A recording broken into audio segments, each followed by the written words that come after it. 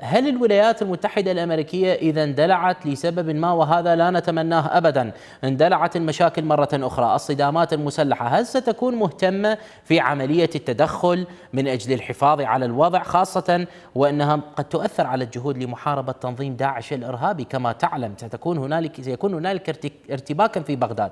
هل الولايات المتحدة الأمريكية ستكون مهتمة في ضبط الأمور في الداخل العراقي إذا حدثت هنالك صدامات مسلحة أم سيناريو أفغانستان سيتكرر؟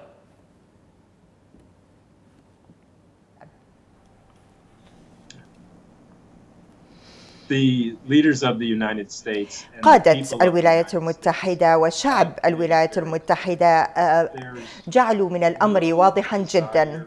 لا توجد هناك أي رغبة. لا توجد هناك أي إرادة سياسية للولايات المتحدة أن يكون لديهم وجود كبير للقوات المسلحة في العراق.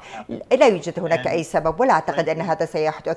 وبصراحة تعلمنا الدروس من من من الأحداث التي جرت بعد اقتحام آه، الولايات المتحدة في 2003 العلاقة بين العراق وأمريكا هي العلاقة التي كانت تدعو إليها أمريكا من أجل دحر داعش.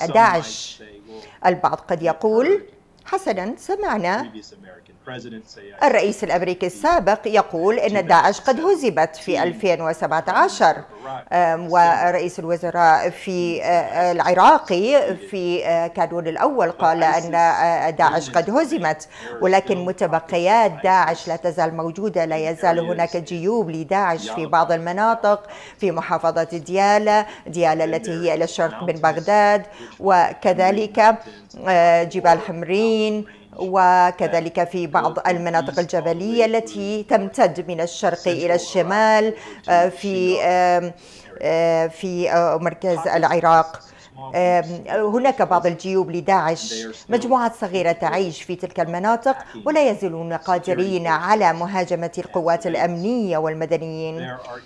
هناك أيضا بعض مجموعات داعش شمال بغداد في المناطق الريفية وكذلك في محافظة أنبار والمناطق الصحراوية.